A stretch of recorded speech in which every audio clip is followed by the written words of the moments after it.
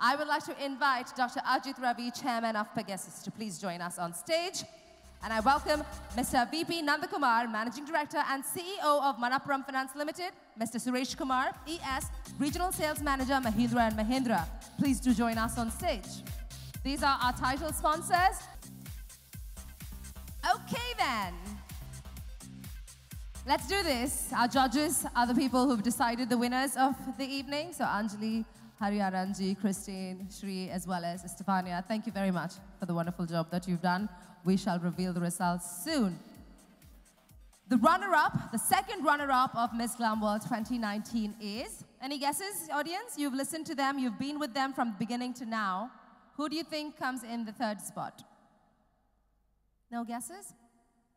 I shall do that myself. Miss Glam World 2019 second runner-up out of the seven is contestant number 33. Qatar.